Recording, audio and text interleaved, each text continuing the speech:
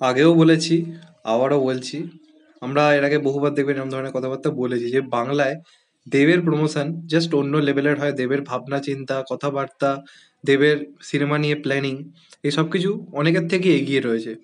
এবার শুধুমাত্র এই ভাবনা, চিন্তা এগিয়ে থাকা বা প্রমোশন করা, এই জিনিসটা কিন্তু বাংলার মধ্যে সীমাবদ্ধ নেই। বলিউডেও কিন্তু প্রমোশনকে রীতিমতো টেক্কা দিচ্ছে দেবের প্ল্যানিং যে থিওরিটা এবং সেটা আজকে কোথাও গিয়ে আরও রিলেটেবল লাগছে। কারণ বলিউডে একটা সিনেমা আসছে যোদ্ধা এবং সেটারও ট্রেলার ভালো লেগেছে, আমি তো রিভিউ করেছি, আপনারা গিয়ে দেখতে পারেন।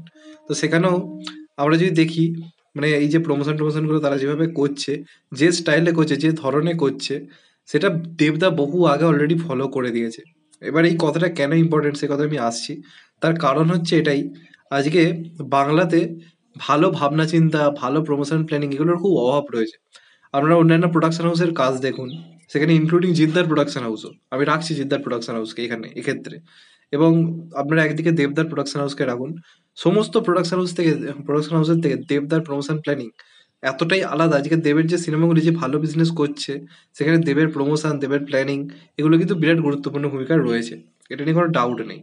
তো আজকে যোদ্ধা বলে যে সিনেমাটা আসছে, সেটার প্রমোশন করা হয়েছে প্লেনেতে ছত্রিশ হাজার ফিট আকাশে, ওখানে হচ্ছে ট্রেলার লঞ্চ আর কি করা হয়েছে। আপনারা যদি দেখেন দেখেন এবং সেখানে মানে কারণ জোয়ারও লিখছে যে বলিউডের প্রথম হিন্দি সিনেমা আর কি, যেটা আর কি এইভাবে আর কি মানে মিড আকাশে আর কি ট্রেলার লঞ্চ আর কি হলো, ঠিক আছে? এবার আপনারা ভেবে দেখুন বলিউডের বাজেট প্রচুর রয়েছে প্রমোশনের জন্য, তাদেরকে পর্যাপ্ত টাকা দেওয়া হয়ে থাকে।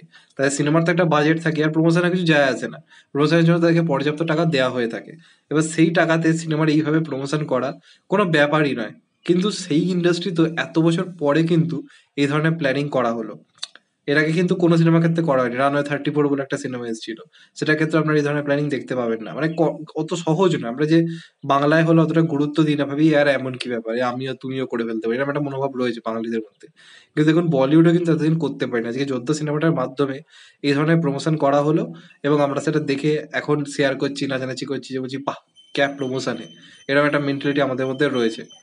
কিন্তু দেবদা দেখুন নতুন প্রোডাকশন হাউস প্রোডাকশনের সেকেন্ড সিনেমা এসেছিল। সিনেমার নাম ছিল ককপিট এটা কিন্তু দেবের সেকেন্ড সিনেমা ছিল। তার আগে সিনেমাটা ছিল চ্যাম্প হিউজ যে বিজনেস করেছিল তা কিন্তু নয়। হিট হয়েছিল, কিন্তু সেই ভয়ঙ্কর যে বিজনেস করেছিল তা কিন্তু নয়। তাও একটা নতুন প্রোডাকশন হাউস নতুন একজন প্রডিউসার কি লেভেলের রিস্ক নিয়েছিল আপনারা ভাবুন। তখন মিডিয়া ওটা নিয়ে কিন্তু খুব একটা কিছু কথা বলেনি। এবং আমরা যেহেতু তখন ছিলাম না, তখন এটা নিয়ে কথা বলার মতো কেউ ছিল না।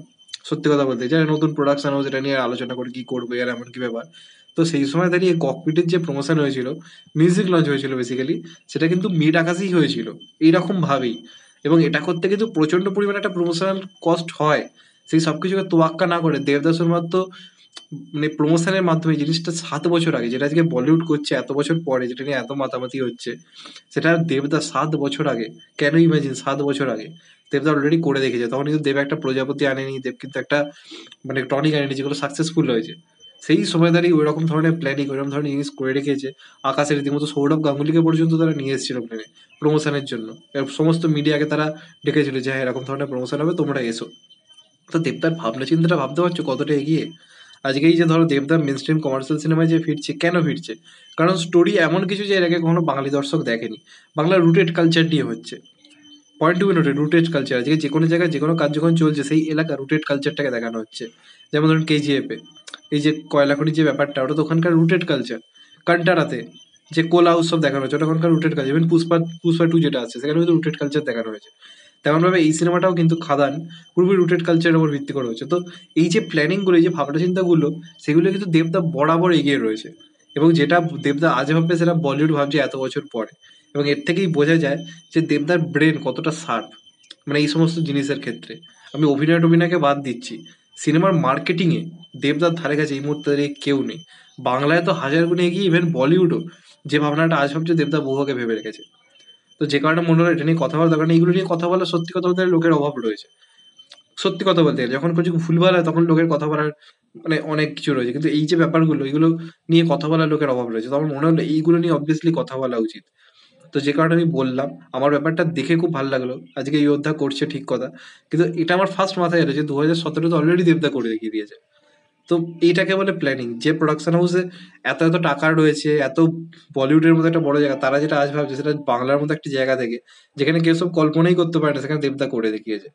তো হ্যাটস অফ টু দেবদা এবং চাইব তার এই প্রমোশন প্ল্যানিং বজায় থাকুক। আপকামিং সিনেমা টেক্কা হোক, খাদান হোক, বা যেটা আসছে প্রত্যেকটা ক্ষেত্রে দেবেরই প্রমোশন প্ল্যানিংটা যেন বজায় থাকে। আজকে দেবের মতো প্রমোশন বাংলায় কিন্তু কেউ করে না।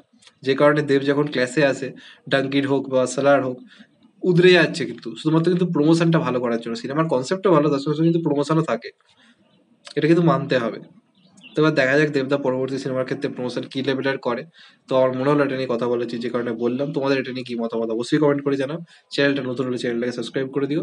অ্যাড গেট দেবে লাইক ভালো থেকো সবাই টেক কেয়ার নমস্কার। আবার দেখাবে কত ভাই সবাই ভালো থেকো, সুস্থ নমস্কার টেক কেয়ার আবার দেখাবে।